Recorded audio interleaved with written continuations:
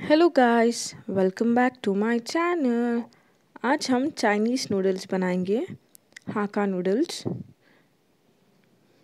तो मैंने यहाँ पर 400 ग्राम्स नूडल्स लिया है। एक छोटा कैप्सिकम को चॉप कर लिया है। एक गाजर को चॉप कर लिया है। कैबेज को चॉप कर लिया है। और थोड़े बीन्स लिया है। एक मीडियम साइज़ की प्याज को स्लाइस कर लिया है। पाँच से छः लहसुन को चॉप कर लिया है। हरी मिर्च, थोड़े चिकन के पीसेस एक अंडा और काली मिर्च का पाउडर लिया है। नमक two tablespoon tomato ketchup two tablespoon green chilli sauce two tablespoon red chilli sauce one tablespoon soya sauce और टू टेबलस्पून विनेगर लिया है। तो मैंने यहाँ पर एक बर्तन में पानी को गर्म होने के लिए रखा है। तो यहाँ पर हमारा पानी गर्म हो चुका है। वन टेबल स्पून में नमक ऐड कर रही हूँ और one tablespoon cooking oil add कर रही हूँ। इससे हमारे नूडल्स खिले खिले बनेंगे। तो जब पानी गर्म हो जाए, नूडल्स को ऐड कर लें और अच्छे से बॉईल कर लें। जब तक हम नेक्स्ट प्रोसेस की तरफ़ चलते हैं, मैंने एक कढ़ाई में ऑयल ऐड किया है टू टेबल स्पून और एक अंडे को मैंने ऐड कर लिया है। थोड़ा नमक और काली मिर्च ऐड कर लें और इसको क्रैकल करके इसको पका लें। ऑयल ऐड करें। तो मैं यहाँ पर अंडे को क्रैकल कर रही हूँ।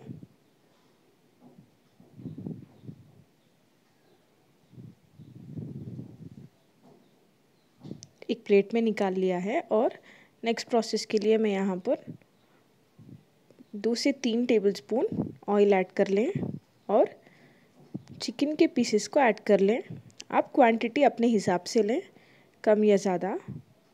मैं यहाँ पर 50 ग्राम्स के करीब चिकन ऐड कर रही हूँ और थोड़ा नमक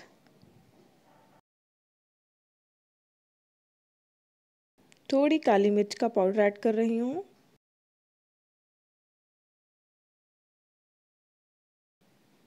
इसको मिक्स करके हम अच्छे से कुक होने देंगे ऑयल में ही।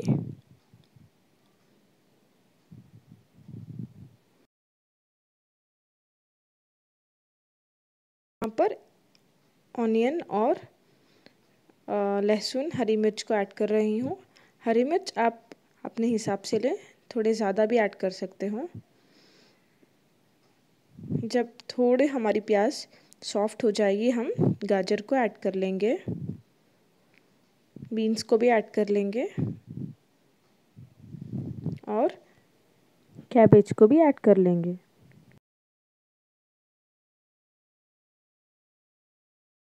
मुझे थोड़ा ऑयल कम लगा तो मैं यहाँ पर और एक टेबल स्पून ऑयल ऐड कर रही हूँ।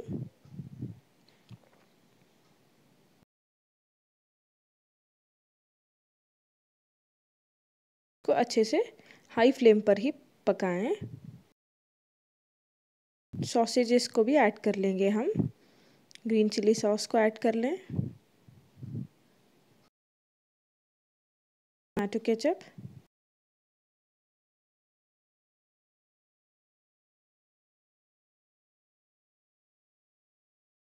vinegar red chilli sauce और सोया सॉस को भी ऐड कर लें। हाई फ्लेम पर अच्छे से मिक्स करें। लास्ट में हम शिमला मिर्च को ऐड कर लेंगे और थोड़ी काली मिर्च ऐड करेंगे। नमक अपने स्वाद अनुसार। सॉसेस में भी नमक होता है तो आप नमक अपने हिसाब से ऐड करें और हाई फ्लेम पर ही पकने दें। तो यहाँ पर मैंने नूडल्स को ऑफ़ कर लिया है फ्लेम को। तो सेवेंटी परसेंट नूडल्स गल चुके हैं तो मैंने इसका पानी स्ट्रेन कर लिया है। हम नूडल्स को अभी यहाँ पर इस मिक्सचर में ऐड कर लेंगे। चाइनीज़ डिशेस जो है हाई फ्लेम पर ही बनते हैं। तो मैं यहाँ पर इसको अच्छे से मिक्स कर रही हूँ। तो हमारे नूडल्स अच्छे से मिक्स हो चुके हैं। अंडे को ऐड कर लें। क्वांटिटी आप ज़्यादा भी ले सकते हो। अभी मैं इसको ढककर पाँच मिनट लो फ्लेम पर पकने दिया है। तो आप देख सकते हो हमारे नूडल्स यहाँ पर तैयार है गाइस मैंने इसको डिश आउट कर लिया है। आप ज़रूर से ट्राई करें।